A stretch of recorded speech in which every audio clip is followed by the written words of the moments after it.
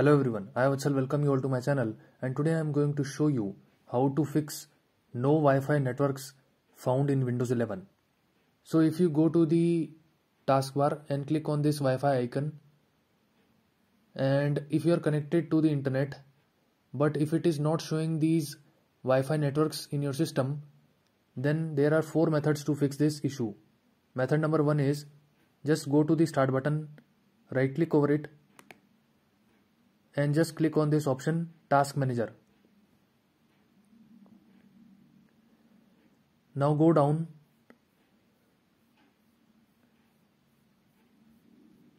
And just click on this Windows Explorer. Now just right click over it and click on the option restart.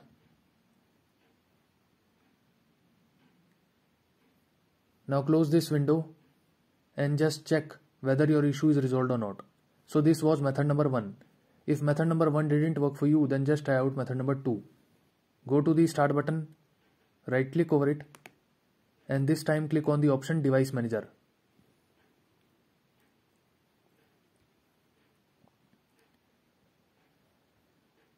Now just expand this network adapters and just click on this Intel Wireless AC9560 the name may be different in your system like it may be Realtek or something else but it will have this wireless written in its name. So just select the wireless driver, right click over it and click on the option update driver. Now click on the option browse my computer for drivers.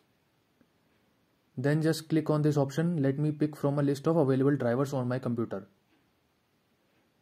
Now just select the first one, the Intel driver Intel Wireless AC 9560 and click on the next button.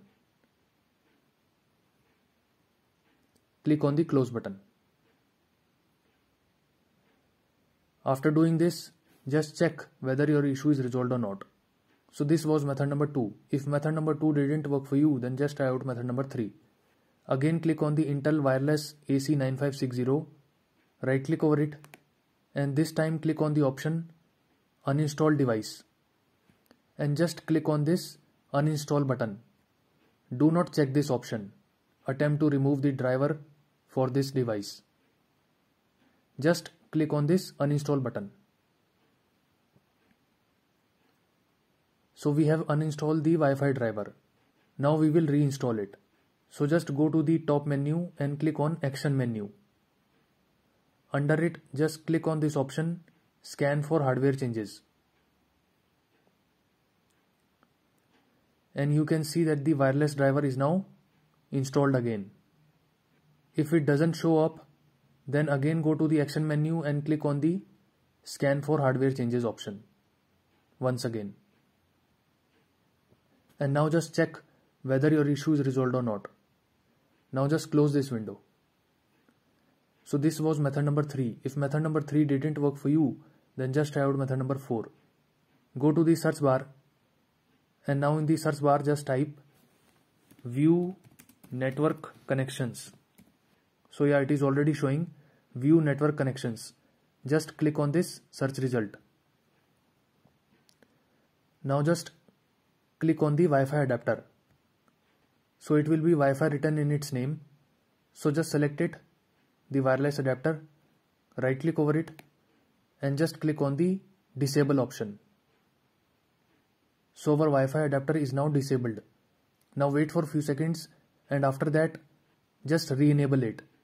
So just select it, right click over it and click on the option enable.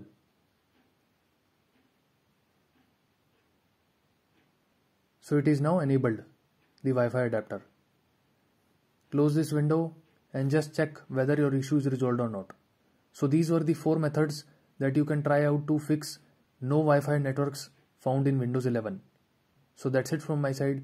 If you like my video, you can click on the like button and subscribe to my channel. Thanks for watching.